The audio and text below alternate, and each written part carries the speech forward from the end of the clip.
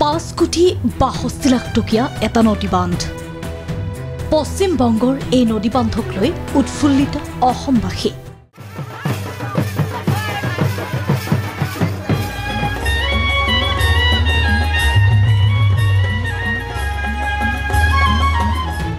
এই ক্ষেত্ৰত অসম চৰকাৰৰ ভূমিকা কি?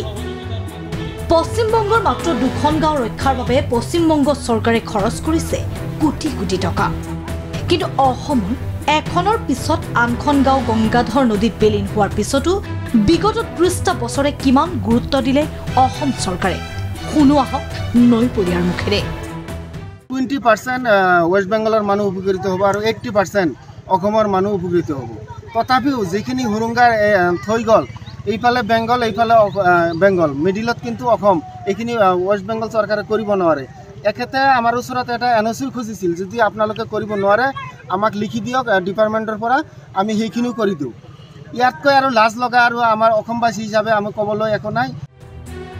বংগ সংলগ্ন গংগাধৰ নৈত বান্ধ দিয়াৰ ফলত কোচবিহাৰ জিলাৰ লাওকুৰি আৰু চিতবৰ লাওকুটি নামৰ দুখন গাঁও খহনীয়াৰ পৰা ৰক্ষা পোৱাৰ সমান্তৰালভাৱে উপকৃত হ'ব অসমৰ ধুবুৰী জিলাৰ তামাৰহাট কামানডাংগা কুমাৰগঞ্জ আদি বহুকেইখন গাঁও। আৰু এই ক্ষেত্ৰত মমতা বেনাৰ্জী চৰকাৰৰ এতিয়া শলাগ লৈছে অসমৰ ৰাইজেও। কোটি কোটি টকা খৰচ কৰি হ'লেও কেনেকৈ জনতাৰ সমস্যা সমাধান কৰিব লাগে তাকো পশ্চিমবঙ্গ চৰকাৰৰ পৰা শিক্ষা লোৱাৰ আহ্বান জনালে নৈপৰীয়াই।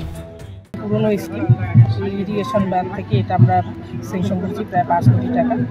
আজকে এখানে উদ্বোধনী সভা সিদ্ধলঙ্কুটিতে এখানে আসাম এবং বেঙ্গলের মধ্যে একটা সমস্যা যেটা রয়েছে, সেটা আমাদের মান নিয়ে আসতে হবে প্রায় আসাম দিয়ে। সেজন্য আমরা সবার সহযোগিতা পাচ্ছি যে এই কাজটা আমরা যাতে খুব সহজে, খুব সুন্দরভাবে এবং যাতে ভালোভাবে কাজটা হয়, আমরা তুলে দিতে পারি। দুয়োফালে বংগৰ মাটিত এহেজাৰ পাঁচশ পঞ্চাছ মিটাৰ দৈৰ্ঘ্যৰ নদী বান্ধৰ ব্যৱস্থা কৰে যদিও অসমৰ মাটিত মাত্ৰ চাৰিশ মিটাৰ বান্ধ নোহোৱাৰ ফলত সেই অংশৰে নদী পানী সোমাই অহাৰ আশংকা কৰিছে ৰাইজে। আৰু অসম চৰকাৰে অনুমতি দিলেই পশ্চিমবংগ চৰকাৰে উক্ত অসমৰ মাটিত চাৰিশ মিটাৰ নদী বান্ধ বহুৱাৰ ব্যৱস্থাৰ কথাও উল্লেখ কৰে। মঙলবাৰে নদী বান্ধৰ শুভ উদ্বোধন অনুষ্ঠানত অসমৰ ৰাইজো উৎফুল্লিত হোৱা পৰিলক্ষিত হয়। কিন্তু নৈৰ পাৰত ৰৈ খহনীয়া প্ৰতিৰোধৰ কথা প্ৰতিশ্ৰুতি আকাৰে কৈ অহা ব্যাগুম নেতা মন্ত্ৰীৰ সেই প্ৰতিশ্ৰুতি পূৰণ হ'বনে? নে কেৱল কথাৰ ফুলজাৰি হৈ থাকি যাব? এয়া এতিয়া এক ডাঙৰ প্ৰশ্ন।